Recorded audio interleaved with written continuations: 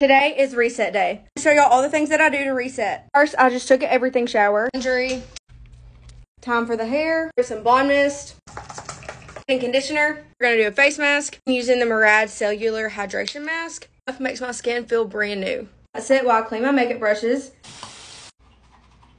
I think that's one of the reasons my face doesn't break out as much because I keep my brushes clean. I wash my extensions.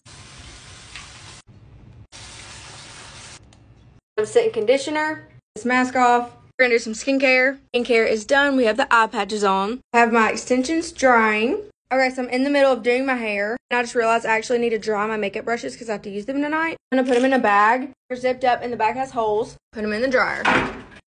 Not too loud. It's curled not tanning water. It's my face such a good natural tan. Vitamins, vitamin C gummies, two women's multivitamins, and apple cider vinegar gummy. In my planner for the week. So many assignments. Okay, I forgot to finish this, but I went and